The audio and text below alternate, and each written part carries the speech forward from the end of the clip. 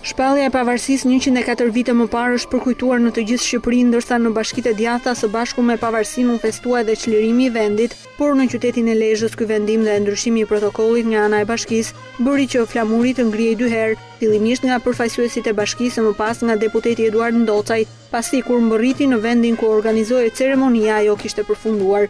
E pakuptimtë që ftohen institucionet, vin këtu dhe nuk gjan askënd për të ngrit një flamur që është e e detyrueshme me Kushtetutë. Ftesa ishte për dhjetë e gjys, por duke pash kushtet atmosferike të të kohës, e filluam dhjetë e njëzet e pesë.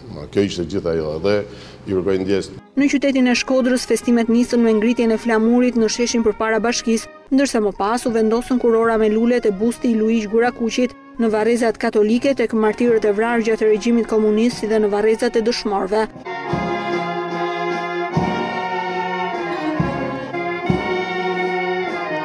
Kryebashkiakja Voltana Ademi tha se historia ka shtrembërime të mëdha.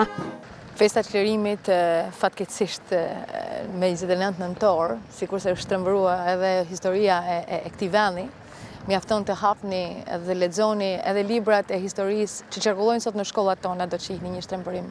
Reshjet e dendura të shiut kanë bërë që edhe në Fier festimet të zgjasin pak.